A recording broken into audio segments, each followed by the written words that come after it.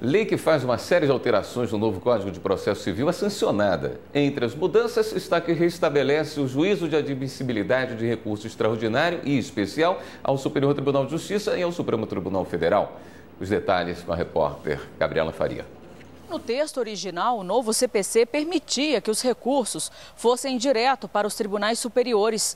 Com a mudança, os recursos só podem chegar às instâncias superiores depois de uma análise prévia feita pelos tribunais de origem, estaduais e federais, o que já acontece hoje em dia. Para o ministro do STJ, Paulo de Tarso Sanseverino, responsável pela comissão criada no tribunal para debater o tema, a manutenção do atual sistema de admissibilidade pelos tribunais de segundo grau é um ganho importante para fins de operacionalidade da Corte.